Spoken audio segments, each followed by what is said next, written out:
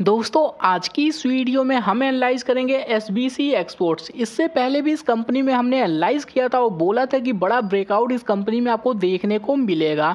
हालाँकि बीच में थोड़ा सा सेल आउट भी आपको देखने को मिला, जिसमें अवेयर किया गया था कि अपना स्टॉप लॉस लगा कर चलें। स्टॉप लॉस के बाद इस कंपनी ने आज एक काफ़ी तगड़ा ब्रेकआउट आपको दिखाया है। आप देखेंगे, यह कंपनी अपने ऑल टाइम हाई पे चल रहा है। अगर इस कंपनी के आज के ग्रोथ की बात करें तो ग्रोथ के साथ साथ इसमें वॉल्यूम भी काफ़ी तगड़ा आपको देखने को मिला। मिला है।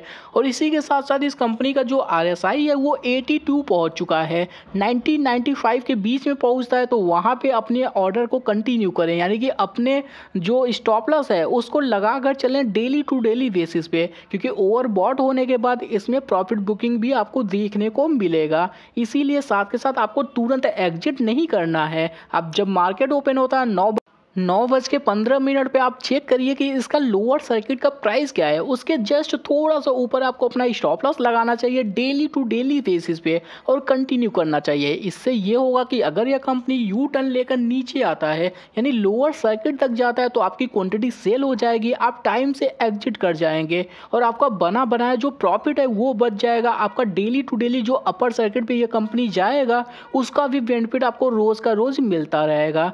जो लोग फ्रेश इंटीक करना चाहते हैं, क्या उन्हें अभी बाई करना चाहिए? दोस्तों, यह कंपनी ऑलरेडी काफ़ी ऊपर निकल चुका है। अगर आप एंटर होते भी हैं तो अपना stop loss daily to daily continue करके चलें। और जो लोग इस कंपनी को लॉन्ग टर्म के लिए होल्ड करना चाहते हैं पैनी शेयर है, उसके बाद भी अगर आप लॉन्ग टर्म की फ्यूचर देखते हैं तो बिल्कुल इस कंपनी को लॉन्ग टर्म के लिए होल्ड कर सकते हैं। चलिए दोस्तों, आज के लिए इतना ही। वीडियो को लाइक करें शेयर करें सब्सक्राइब करें। Thank you for watching this video